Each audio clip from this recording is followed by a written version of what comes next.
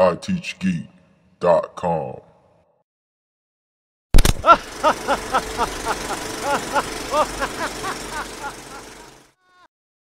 Ask Brian. That's me.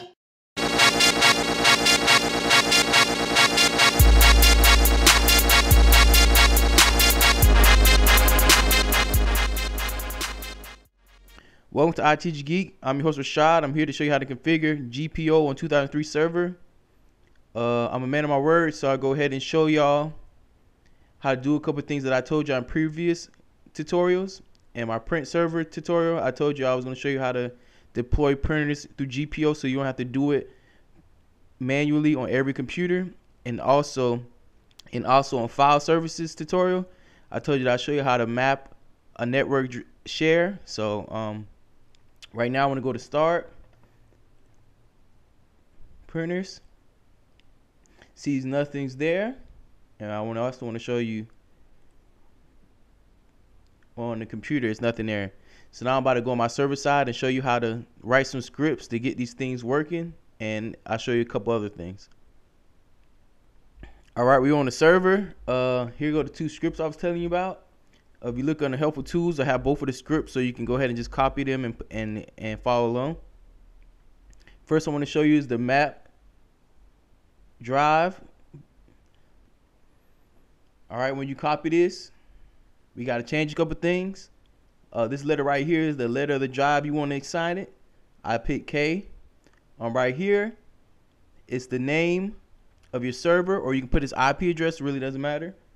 So I'm go ahead and put the name of my server. and then next to it is the share folder, whatever you called it.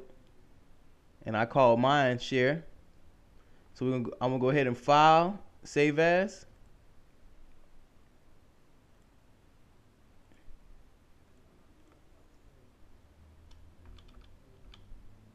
All right, let's go ahead and put .vbs.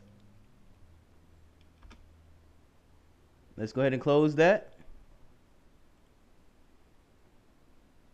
Now we're gonna do the for the one for the print. All right, in here, let's go ahead and change this to the server.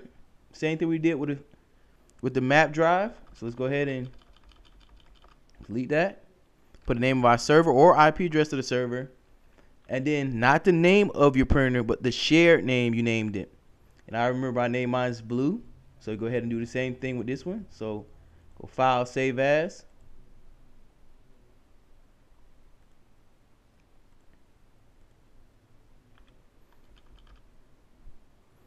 Okay, VBS. Press enter. All right, so we save that one. You notice both of these turns these little script little things here. All right, we're gonna go ahead and go to Active Directory.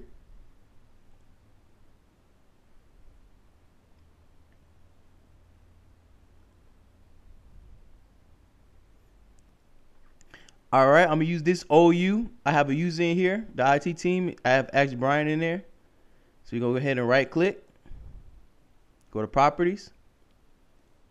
We're gonna go to group policy. All right, let's make a new script. I'm gonna call this map drive. Try to name it something that you can be able to remember what it is later.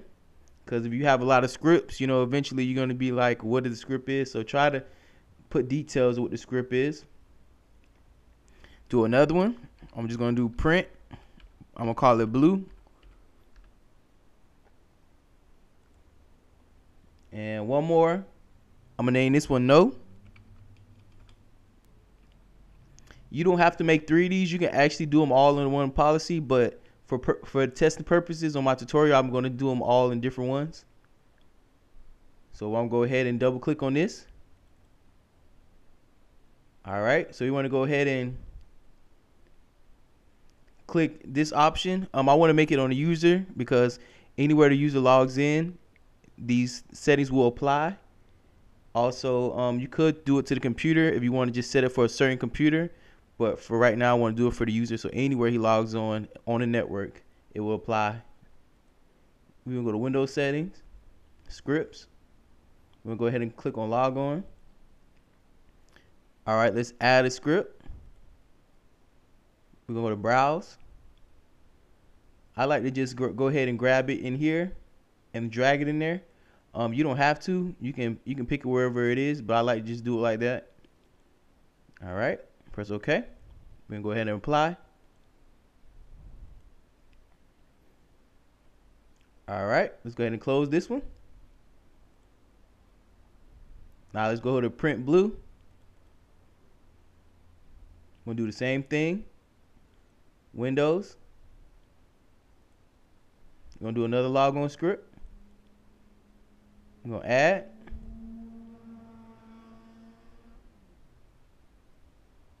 Now we're gonna go to browse. Throw the print in there too. Gonna open.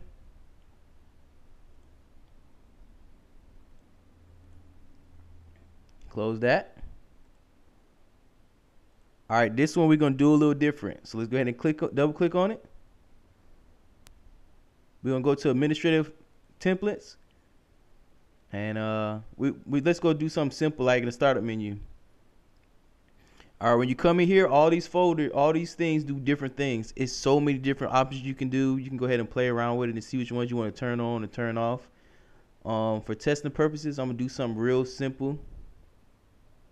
So I'm, so let's go ahead and we want to remove the documents icon from the startup menu. And like I said, you can pick whatever which ones you want. You don't have to pick the exact ones I did so we can test it. Uh, let's go ahead and pick one more.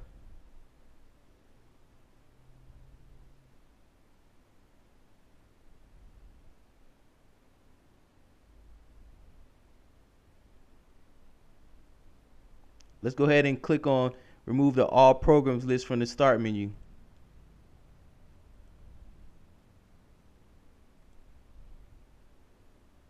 All right, let's go ahead and close it.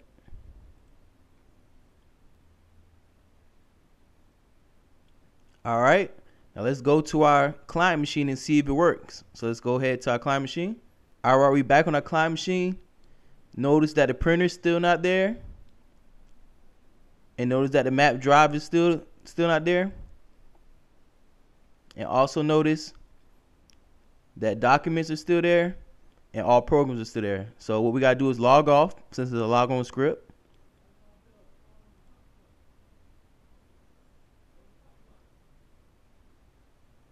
All right now go ahead and log back in. All right put the username that's in that OU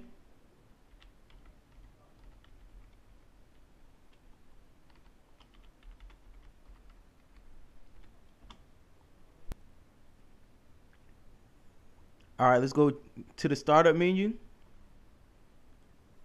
And notice all programs are gone. And notice my documents are gone. We can go to printers and, and faxes. Notice that big blue is there. That's the print script we ran. And for the last test, go to my computer. And there goes the map drive right there. If you have any more questions on GPO, I have more tutorials in depth. These are some basic things you can do. Um, you can go ahead and play around with it and, and add any kind of settings or permissions you want to do. That's my tutorial on GPO. I'm your host Rashad. Thanks for watching.